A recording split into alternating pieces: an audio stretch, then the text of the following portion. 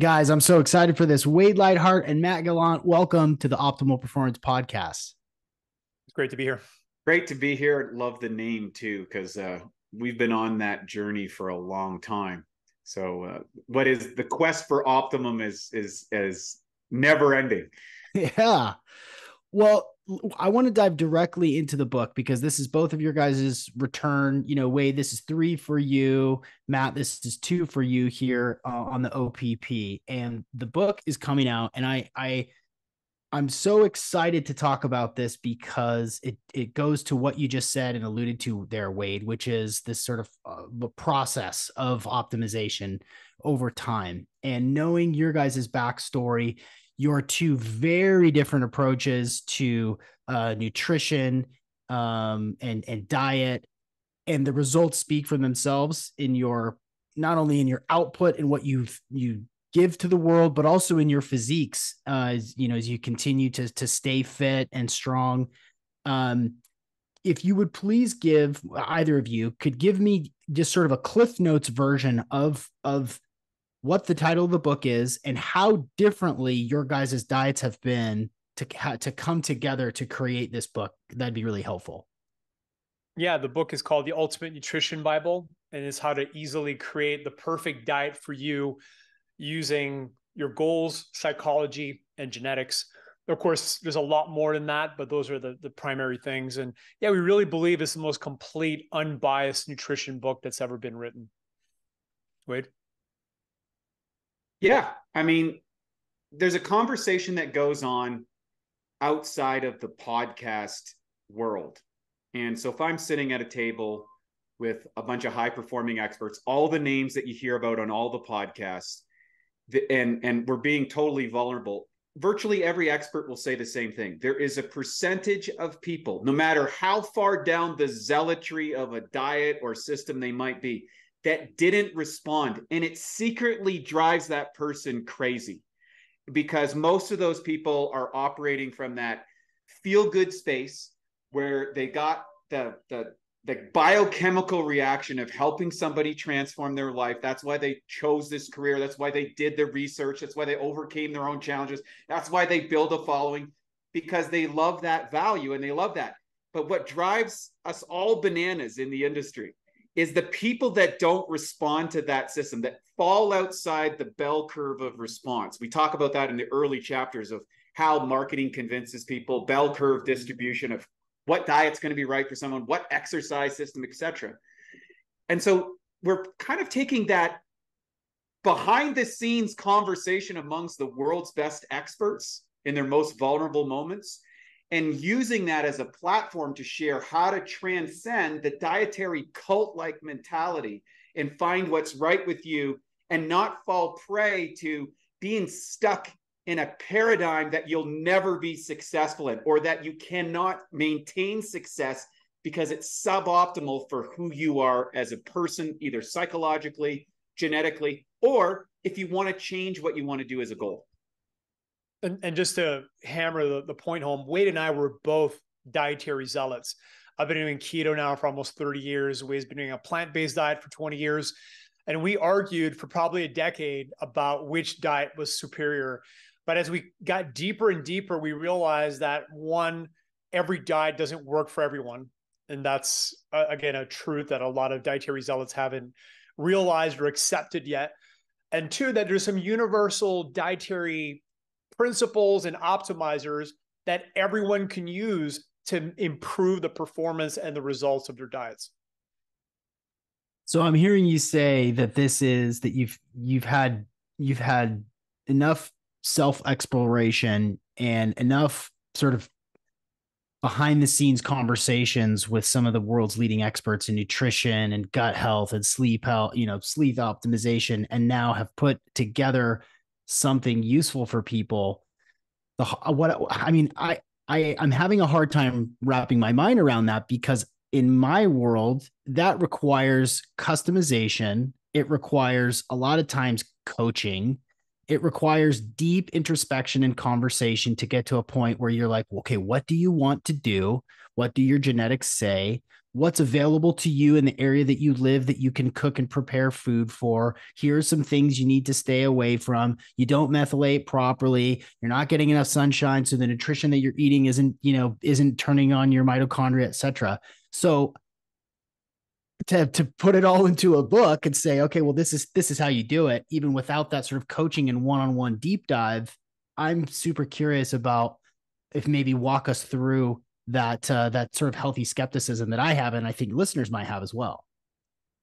It's definitely a journey, and we are still on this journey. Like, there's always another level of optimization, but I think it'd be helpful to walk through the what we call the hierarchy of nutritional decisions, like the pyramid that people should go through to design the ultimate diet for them. And the base of it, which very few people talk about, is really of spiritual considerations. Now, for a lot of people, this doesn't apply, but you know, I have friends that are Orthodox Jews, I have friends that are Muslims. There's a lot of vegans that choose to do that for spiritual considerations. So automatically, there are certain diets or types of foods that are just eliminated because of their spiritual beliefs. And we're not here to judge these people or tell them they're wrong. We're here to support them because even though the diet might not be the best diet for their genetics, there's ways to overcome that. Wade, any comments you want to add to that?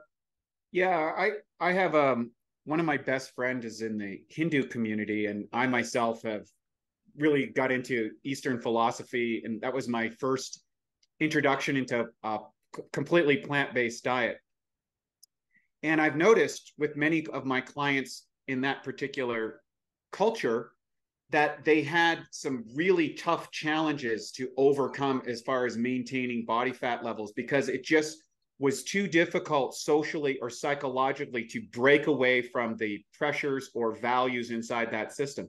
So if you're trying to, you know, give a person a genetic test and saying, you know what, uh, you gotta you gotta violate your entire family and social structure in order to maintain the diet. The likelihood of that person doing it is zero percent, and there's a sense of hopelessness that comes with that, or it's it doesn't work.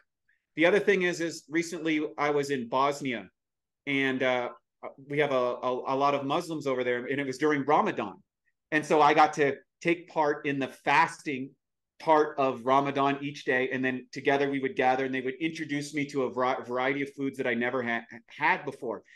And I really enjoyed embracing the values of the culture. It's not that I'm a Muslim, it's just that I appreciated the whole social aspect and how powerful that is for them, their culture, their community.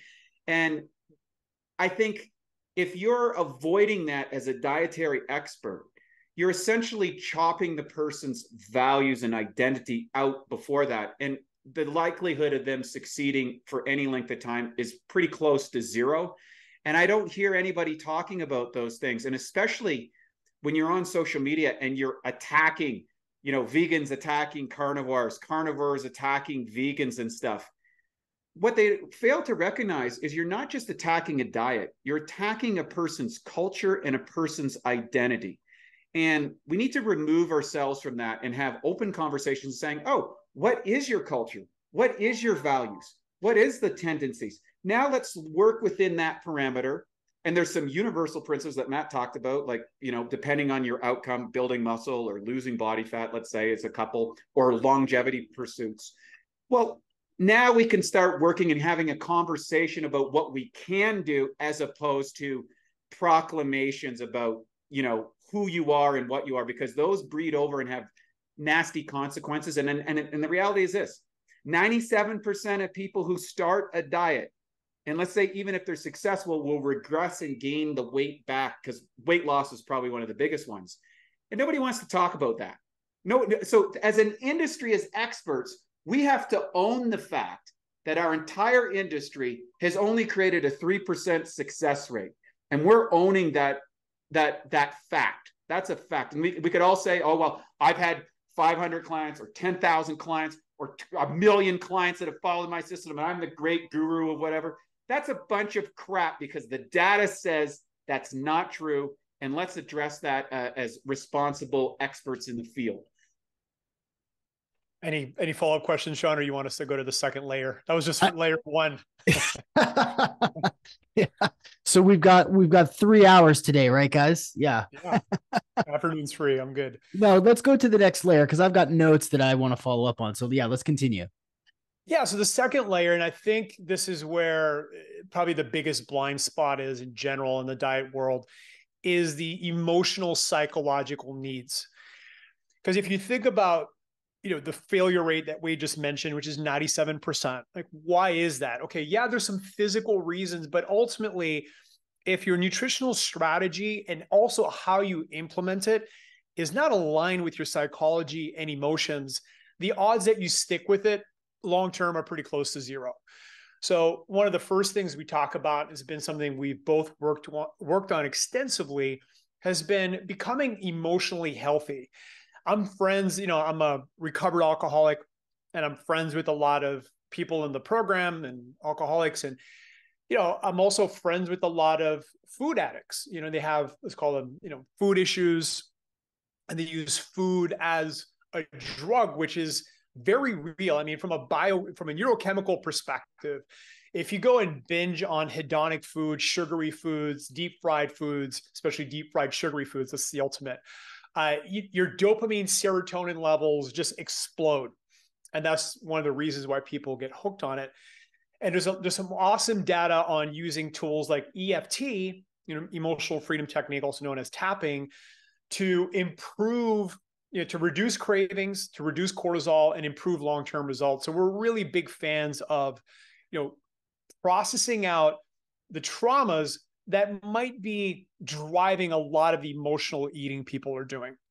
So that's the first piece. Second piece is like to thy own self be true. That's one of my favorite, you know, sayings I've ever heard.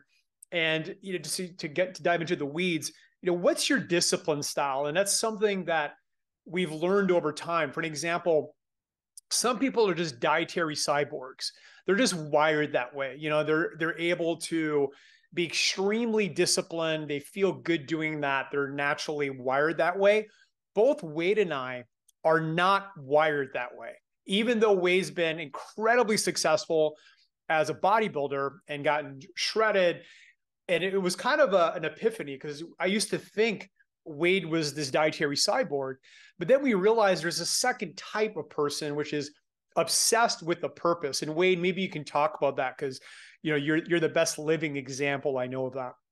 Yeah. So left to my own accords without an, an outcome that I see that ignites my soul for a greater purpose, I can't stick to a diet.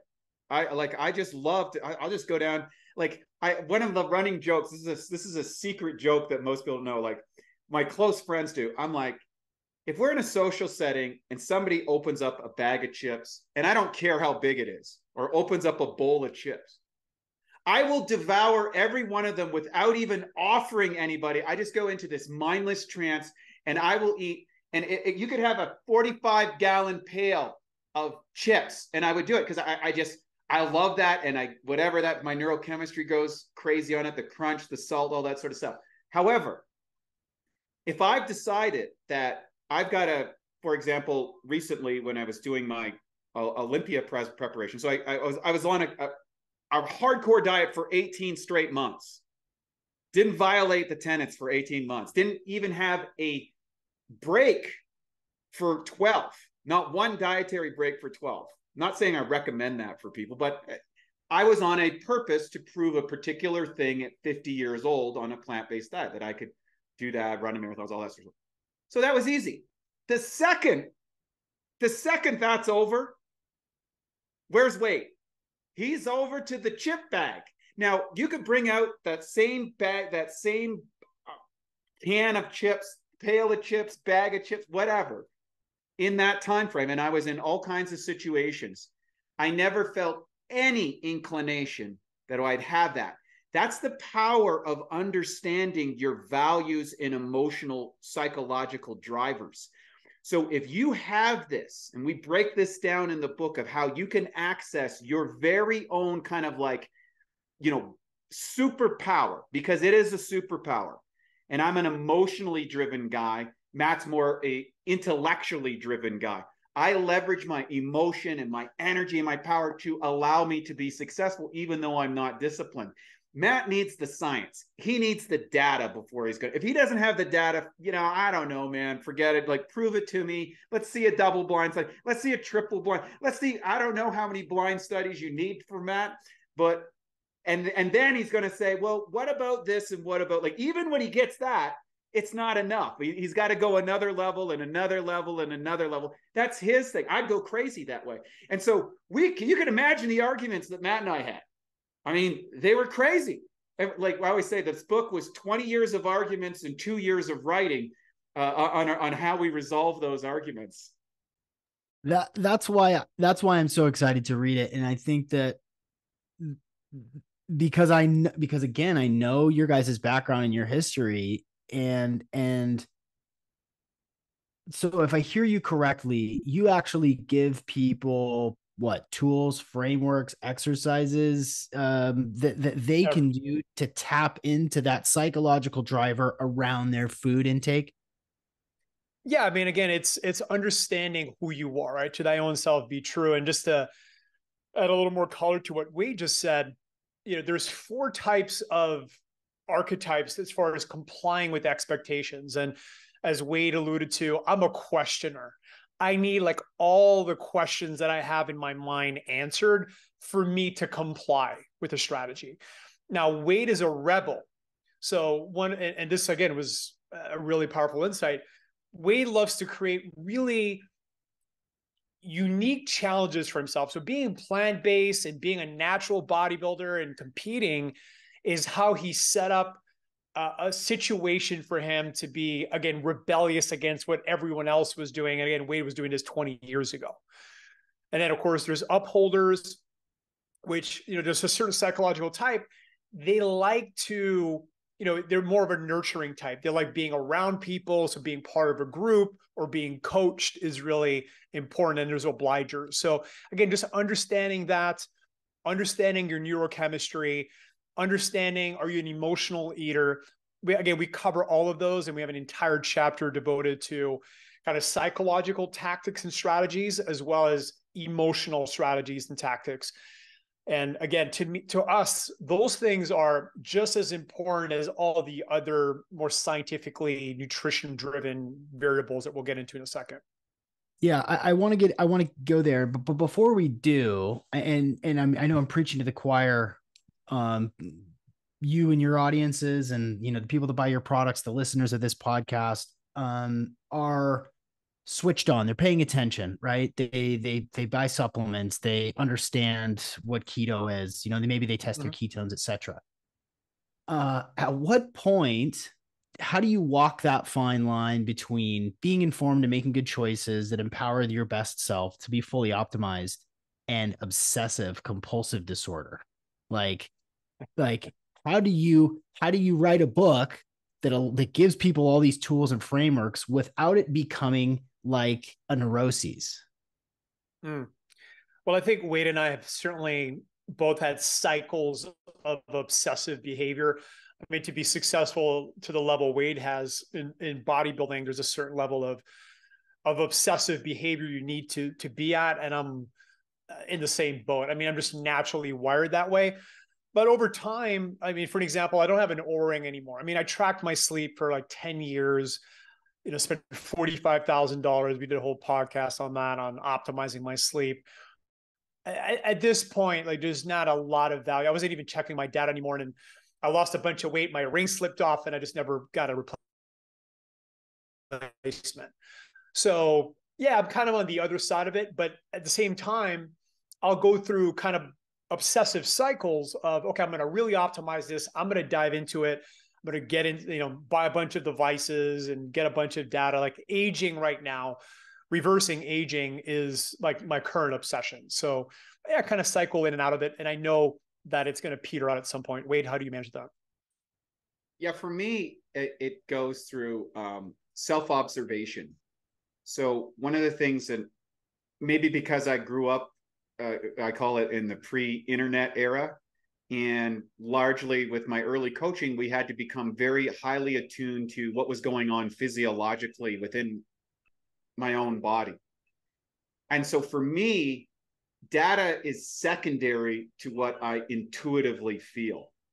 And I'm so confident with my own intuition that it allows me to be a rebel or appear to be a rebel inside a sea of opinion. And essentially, opinions are largely part what people are advocating, and that opinion is constructed out of a subset of experiences. But that subset of experiences are driven by the individual's predispositions anyway. So that's where the whole function of bias comes from. Now, the beauty, I don't think this book could have been created by a single person for that reason. The reason that we were able to create this book and what makes it so unique to maybe what's been out there before is that Matt's and I's whole functionality is almost completely opposite to each other. And yet we still have this passion to help people. And that's where our that's where our we were able to overcome our limitations, our biases, our patterns, our tendencies, and um, and leverage each other's strengths and weaknesses. So I might be tuned into something intuitively, and there's some things that happened intuitively that were proven out decades later. And there are things that Matt have found research wise that I was like, I never would have found. I went. I wouldn't even expose myself to have an intuitive opinion. So without both of those areas, the the areas outside of our range of observational capability or where we're gathering data, that's where the wins are, and that's where also all the conflict happens, and why people become so polarized about you know which diet is going to give you this or what strategy is going to give it like and and what happens it just becomes a cyclical bang the drum and it's my tribe versus your tribe. And what happens is we've been around long enough that we see the rise and fall of diet cults.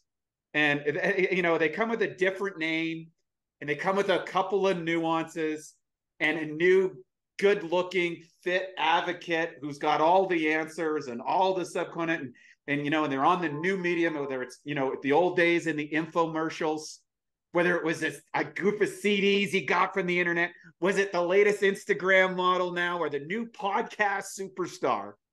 It's all the same thing repackaged over and over and over again. And you know, I hang around with a lot of old guys because I'm on the backside of my uh, my first century on the planet. And you know, we we all laugh. It's like, yeah, I saw that back in '72. Then it came up again in '94 and here it is again in 23 you know like so and and and unfortunately we have a lot of great young people in the industry right now that are really motivated really passionate. They know more things than they ever have before but they're falling into the same trap. And uh, we're hopeful that we're able to provide a set of tools and research that they can take their their excellent knowledge and their passion for helping people in the world and expand and explode their influence because we got a mission here. Like the reality is the world is in trouble. People are really out of shape. People, the life expectancy is dropping. Modern medicine has got us as far as it can, and people can't adhere to the best science. And it's because of the reasons that we've been able to identify from our own experiences. And that's what we want to share with people to help not just ourselves or not just our clients, but other experts because once they read this book, like someone like yourself, once you read this book, you're going, of course that's it. Yes, that's it. And you're going to go back and those people that didn't fit in the philosophy, you're now going to be able to resolve those issues much more quickly. I like that. I like that a lot. Okay, let's go to the next. Let's go to the next uh next rung. Next rung, third, which is I think where most people Uh, start, which is goals. So in the book, we have essentially books within the book covering all five epic goals. Goal number one, weight loss, which has always been near and dear to my heart. One, because I was a chubby kid, and two, because I helped my best friend lose 191 pounds in 18 months when I was 19 years old. And that really got me on the journey. The second goal we cover is bodybuilding, muscle building, not necessarily bodybuilding, but just muscle building. And actually, in the book, we share a program for free. It's included in the book that we used to sell for $300. And of course, Wade and I have both built 30, 40 pounds of lean muscle mass naturally over the years. So it's something we're very, very knowledgeable in, and we cover that. Third goal is athletic performance. And as a trainer, probably my favorite type of client uh, after weight loss clients was athletes. I worked with a couple of professional athletes. So cover kind of the nutritional aspect of that. Fourth goal is cognitive optimization, which is definitely one of my personal obsessions. And the fifth goal is what we call biospan, which is health span and lifespan, right? Our goals are, I mean, my personal goal is to live to 170. We'll see if I make it.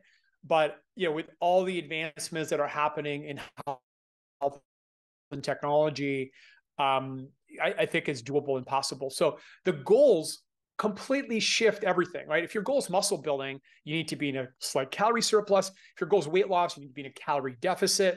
If your goal is athletic performance, you want to be around maintenance. If your goal is anti-aging or, you know, basically trying to live longer, then you want to be slightly below maintenance. So all every goal completely changes your calories and macros, which is the fourth tier. So whether I'm an overweight Muslim or a 19 year old stud ba- baseball player. I'm there's going to be ideas in the book and frameworks around psychology eh, that are specific to the goals that I have. Is that right? Yeah, there's there's something literally for everyone. I mean, if you have any interest in nutrition, there is something for you in this book, no matter what your goal is. Yeah, I think another important thing is it helps you ask the right questions within your given outcome because it's not the things that you know that screw you up. It's the things that you don't. For example, I'll give you a, a, a personal situation. And this was the genesis of our company. In 2003, when I did the Mr. Universe contest, after the contest, I gained 42 pounds of fat and water in 11 weeks because I didn't know the concept of reverse dieting. I also didn't know the value of your microbiome in that. 2003, not a lot of people are talking about it. We found a doctor. That doctor taught us about the microbiome, the role of enzymes and probiotics. And, you know, your diet was only as good as how good your gut health was. And I was like, oh, I didn't know reverse dieting. I didn't know. Like, if you go on an extreme and you talk to bodybuilders of the past, they all would go from Mr. Universe to Mr. Marshmallow. That's what I did. And so today, when you talk to the very top athletes, like my friend uh, Natalia Coelho, who's the current Miss Olympia, getting ready to defend her title this year. Someone asked her in a webinar, like, "Well, how do you like? What do you eat on your cheat meals?" And she's like, "What are you talking about? I never cheat." So her psychology is uniquely capable of it. She doesn't go. She says, "I can't go out of shape." Because she prides herself in being shape. She knows that on the level of rigidity she's operating to be the world's best, she has to work within a much tighter framework than someone who's doing a contest every few years or uh, you know doing a weight loss or weight cut to get in shape for a wedding or something like that but if you get in shape for your wedding how do you come out of that while maintaining your weight without gaining it all back because most people will gain it all back and you can learn about that in the book and have that strategy and you know matt identified this and i thought it was a brilliant identification where he said the strategy after you hit your goal weight is equally or more important than the strategy to get there. And and that was a massive mind blower for me because being a person who naturally doesn't have discipline like I, like I'm the first guy to the buffet table after the contest was over right? Like it's over you know I'm done. And and that was an area that I struggled with. Okay let's keep going. Fort, um, fort level Fort level um, calories and calories and macros, which is essentially where like every diet book is about. And as we had mentioned earlier, people create a new variation of the ketogenic diet or a new variation of if it fits your macros. But ultimately, you know, the, the macros are are the macros, and of course, calories depends on your goals. it is important to identify that the top two, the most important macros in on any diet is protein and fiber. Um, and again, especially on a plant-based diet, fiber is is king, and Wade's probably the king of fiber. But protein is the king macronutrient on any diet. Doesn't matter if it's muscle building, weight loss, and just to go a little bit deeper, the real goal and the real purpose of protein is amino acids, and that's why we've been using Masszymes for 20 years because it literally turns protein into a, a, pool of amino acids and peptides in about 30 minutes. We just did the test in the lab on that. So yeah, calories and macros obviously is where most people live, but that's it. I mean, and and yes, that's important, but all these other elements that we're covering are equally as important. Wade, you want to talk about fiber because again, Wade just competed, won a, a California natural bodybuilding show, then competed at the Natural Mr. Olympia in Vegas, and you know, you you pushed fiber to I think the highest levels you ever did before on any dietary game plan. Yeah. So, you know, the one of the things I think bodybuilders are the original biohackers. They don't get enough credit for it because they're coming overcoming two evolutionary tendencies. One, to build a disproportionate amount of muscle, and two, to reduce their body fats to significantly lower levels. But from a longevity perspective, the bodybuilding community doesn't have good marks. Well, why is that? So here are people that are consistently in a sub calorie model, but they're building extra muscle. Why do they not live long? And, and they follow mostly if it fits your macros, which is very effective on a performance diet. And most people, you know, going back to that rebel idea, you know, the rebel psychology, people told me 20 years ago, you can't win a bodybuilding contest on a on a plant-based diet there's not enough protein. You can't get enough protein. And protein has a one of the big benefits on a dietary side is satiety. It allows you to stay fuller longer. Well matt and i learned to optimize the amino acid delivery on a substandard level of protein from a bodybuilding perspective. So under normal conditions i would be eating 200 to 250 grams of protein a day on a typical bodybuilding diet that's virtually impossible on a plant based diet. So, how was I able to eat 100 grams of protein, but still get the amino acids to recover and have the satiety? And the answer to that question is fiber, because fiber has an equal, if not extended, I think it might even be superior to protein on a satiety level.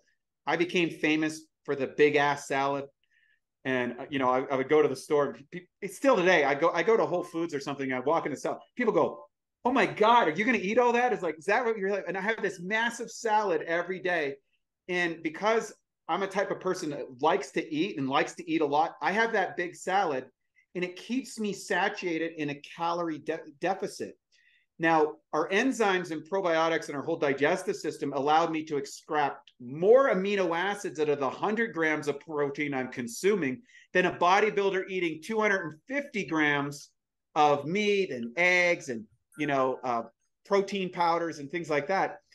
It's not what you eat, it's what you digest, absorb, and utilize. So I optimized my digestive health, my capacity to bring amino acids in to recover my body. I created satiety factors with the fiber that offset my tendency for food cravings. And the fiber kept my blood sugar in like a ketogenic level when they when I do a HOMA-IR test, people think I'm on a ketogenic diet, even though I'm eating carbs regularly. I have a low protein diet and high fiber. So it's completely the opposite model, but it's not if you understand the nuances. That, that's level? That still blows my mind. I, yeah, the next level. I, again, I, I, so many questions, but next level, next level, I Matt. Mean, this, this, book is 540 pages. So yeah, there's a ton of content. I mean, it took us again like, like three years to put this together. But yeah, the next level is a new science, and it's called nutrigenomics. So nutrigenomics is the science of how nutrition and our genes interact.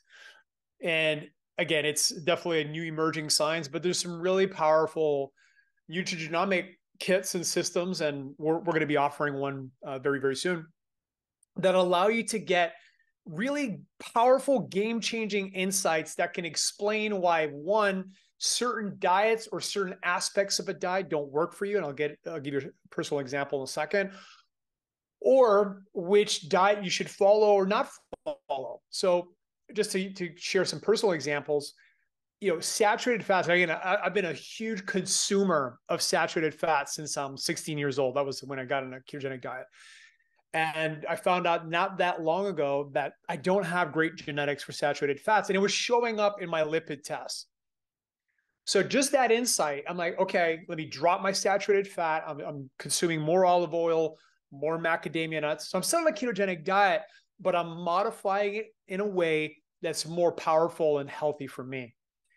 Another insight was I don't have great genetics for selenium. So I took my Brazil nut intake from one a day to two a day. So those are simple examples, but Wade's got another great example. There's a reason why Wade eats a big ass salad because his nutrigenomics eh, validated that, which, you know, of course, Wade's been doing that intuitively, but it, was validated through nutrigenomics. Go ahead, Wade. Yeah, a couple examples. For example, um, I have suboptimal genetics for cardiovascular health. I have two bad genes. And the other thing is, I have suboptimal genetics for blood sugar regulation.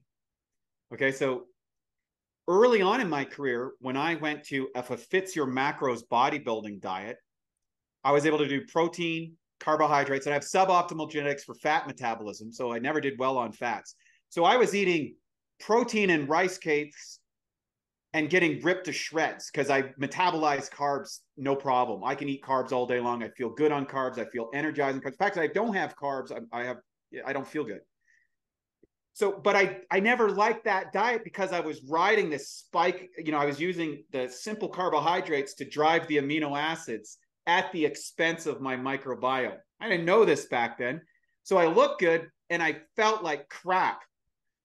So when I went to a plant-based diet, I felt better, but couldn't get enough protein. So, and that was the previous solution.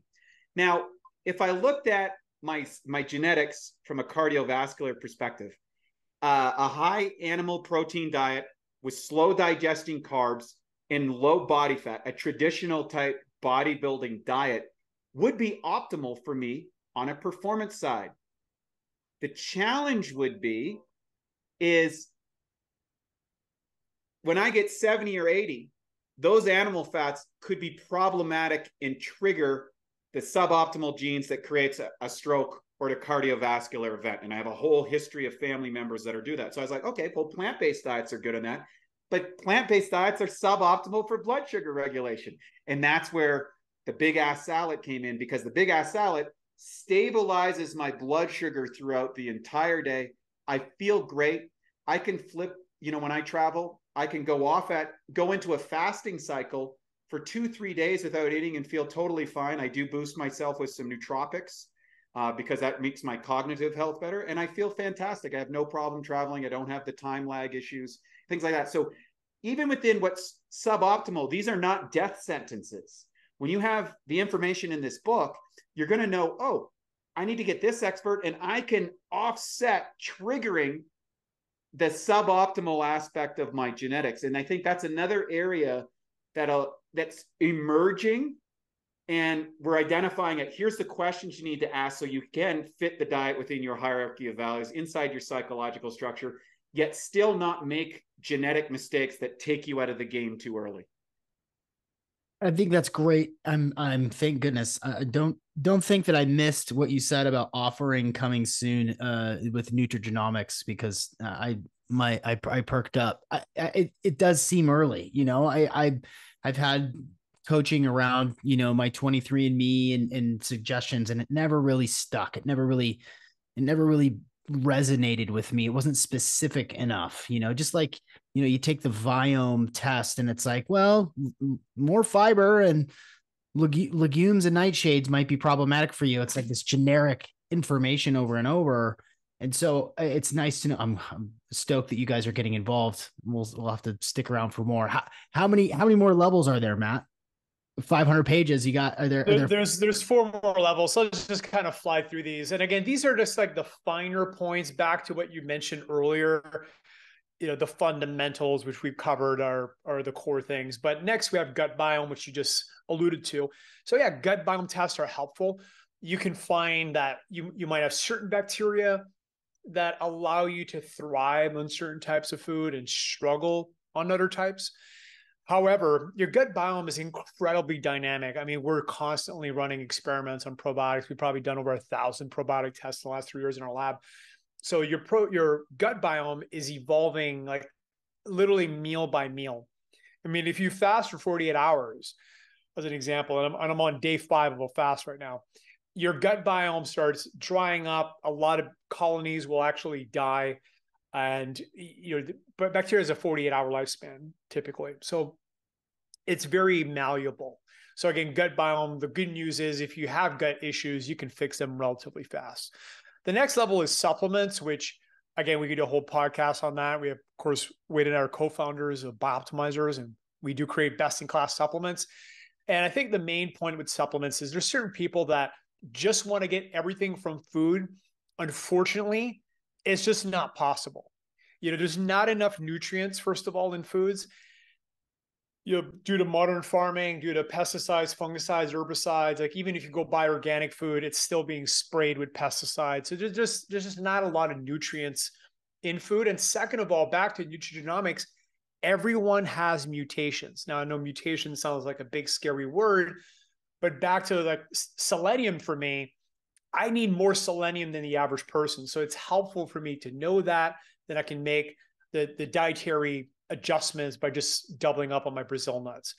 The la- the third one, or sorry, the eighth one is food and allergies, which this is another big issue in the food space. There's too much fear mongering.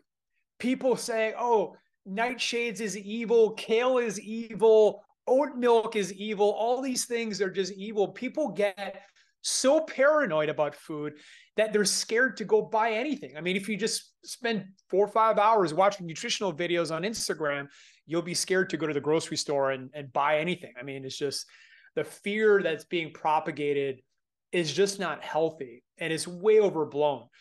You know, are there certain people that might have issues with oxalates from kale? Maybe it's a small percentage.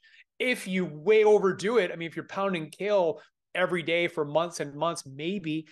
You know, same thing with lectins. And there's been a lot, there's been a lot of people that have come out with nutrition books that have used these again food allergies and sensitivities and made it sound like everybody should be highly concerned but again it's an individual thing so some people might have problems with certain things but again it's just way overblown and the last one is lifestyle. And I think you know, once you achieve your final form, and I'll use exercise as a great example, it only takes about 33% of the exercise volume that, to, that it takes to build muscle to maintain it. And it's the same thing psychologically. Like the amount of mental energy somebody needs to spend to lose weight is quite high. But once you achieve your final form and you want to just maintain it, it's relatively easy. And again, I'm a foodie. I love traveling and enjoying great food. And I can do that. I mean, I've done, a, I just did three weeks in Europe a couple months ago with my family. And I came back and I lost weight. Did I diet? I wasn't dieting. I was just, and we, we have a whole chapter on all the tactics and things you can do um, to enjoy your favorite food, go to fine dining and not gain body fat, not gain weight. So, yeah, I think when we're talking about being successful for life, that final piece, like the peak of the pyramid, is making sure that whatever your lifestyle is, it's aligned with your diet. You still have some mental vigilance. You're still following some sort of structure. You're not, you know, off and doing whatever you want, but that you know you're enjoying life. I think it's really important. Wade, anything you want to add? Yeah, I think that's the the other piece to the book. I think, which is people are going to really love, regardless of the diet that they're on. We have all these chapters of how to be successful on every diet, how to be successful in all of these different station situations. So situational tactics relative to the overall strategy you're applying. And we've got those, you know, over the course of our careers, which, you know, I started this whole journey when I was around 15, same as Matt. So we've got a, a lot of combined experience and a lot of people from a wide variety of social paradigms, you know, from old people to young people to people with weight gain issues, people with weight loss issues. And you need to understand your own individuality and that's the tactic that's right for you at the right time. So, what diet's right for you? What diet's right for you right now? And what diet's right for you in the future? And how to tactically move within that diet or to some other aspect that allows you to have maximum amount of success success with minimum amount of friction that was the that's definitely one of the little snippets that I'll put at the very beginning of the episode. Those last like six sentences was just so tight, so nice. I I have this sort of vision of of the future of nutrition um that makes things customizable, uh more affordable because maybe psychologically you got to a point where you don't feel like you need to eat so frequently you know? Maybe you maybe you can eat less calories. You can you can use use your hard-earned money on really high quality supplements and nutrition um, to help your gut and spend less on you know really expensive high quality food because you're just eating less of it. Um, you know deploying all of these techniques in a way where in in in my mind it's like you're making choices. If you're obese, you're making choices that are putting your body there. You may have some dis obviously you may have some metabolic dysfunction and some trauma and some all, all this stuff, but the tools are all there, right?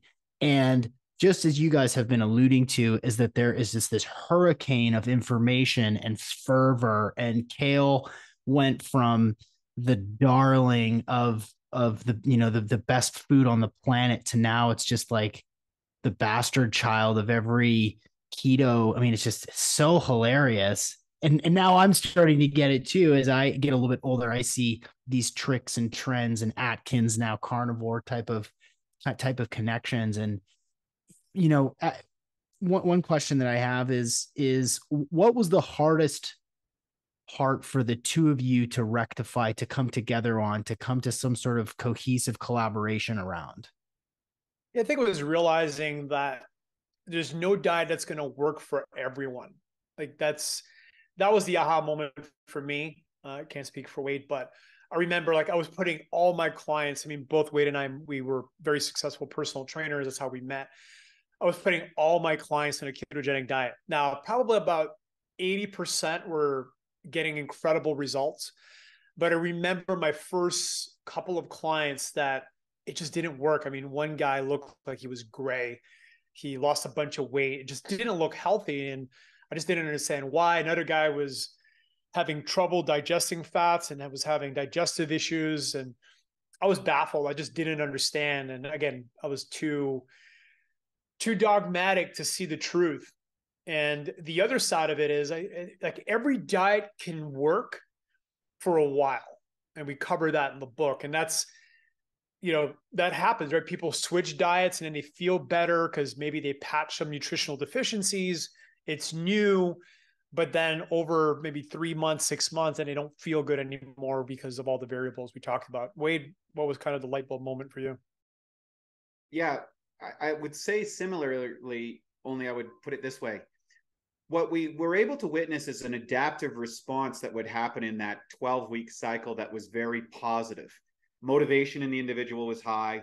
Maybe the shift the, the, the body's metabolic response and addressing those nutritional we'd see those results. And typical studies research papers they all will very few of them are long term and none of them or virtually none of them apply for genetic variants or psychological variants okay so you already the, the the data is corrupt and in the real world when we start trading aspects, we started to realize, man, you know, there's some real holes here. When I tried a ketogenic diet, I, I would hit a certain level of fats and I'd get fat in my stool. And I'm like, I'm not absorbing this.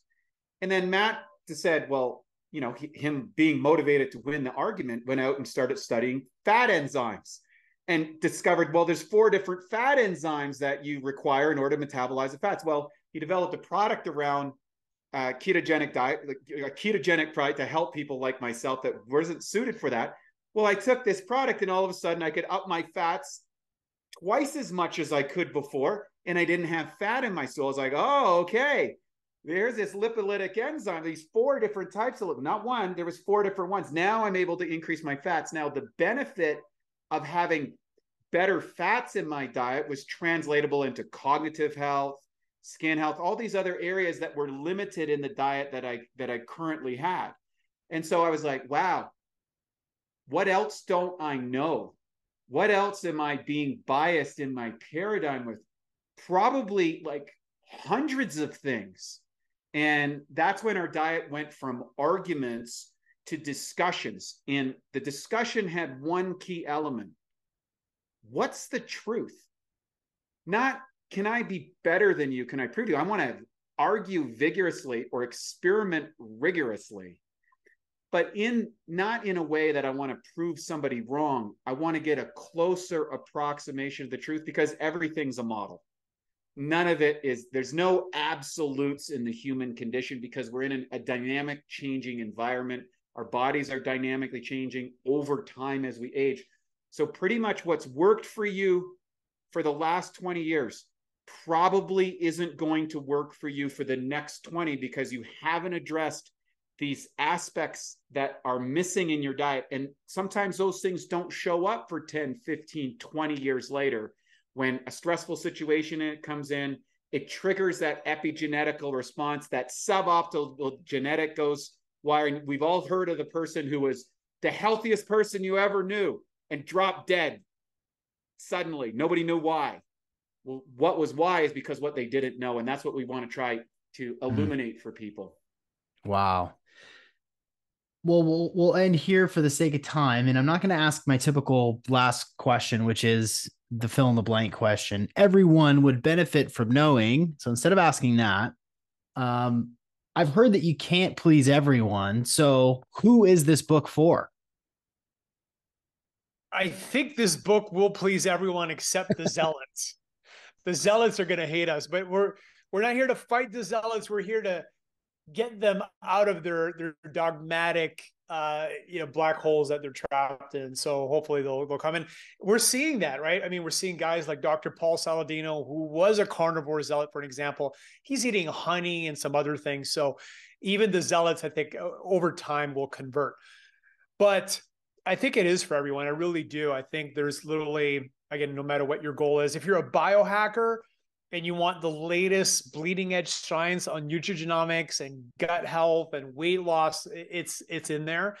And if you're somebody who's been struggling to lose weight, again, we literally have about uh, 200 pages of content almost de- devoted to every aspect of weight loss. We have a muscle building system. We have the athletic performance. So I do think it's for everyone except the zealots. And even the zealots will benefit from reading it. So they need it probably more than any, anyone else. Yeah, the zealots will get a dose of nuance. I like that. Guys, we managed to pack in a ton of information. Um, unsurprisingly, you guys have delivered. I can't wait to read the book. Uh, and and I just when you think you can you know it all, you find out you know nothing. and you know, for me with my goals, and I think the, the goals of my listeners who want to, they want to be strong, they want to have lots of energy, they want to sleep well, they want to live a really optimal life, they want to be the best versions of themselves that they can. That does lead toward, you know, pretty rigid thinking about what they're putting in their body. And so hopefully this will be uh be a solution for everybody. So where should uh, where should everybody go to find it? ultimatenutritionsystem.com forward slash OPP. And the code is OPP10, the 10% off. And we did also spend a week in Hollywood, in the Hollywood Hills, filming a video course of all the content, which you'll also be able to, to grab with the book. So literally, it's beautifully shot. I mean, beautifully edited. Um, it, it's kind of a a little bit I'm not, going to say dumbed down, but you know, summarized a little more. But yeah, it's about 25 hours of video content. So if you prefer video, then we got that. Of course, the books there as well. Awesome. Gentlemen, Wade, Matt, thank you so much for joining me today on the Optimal Performance Podcast. Great to Thanks be here, man. Us. Thank you. Thank you.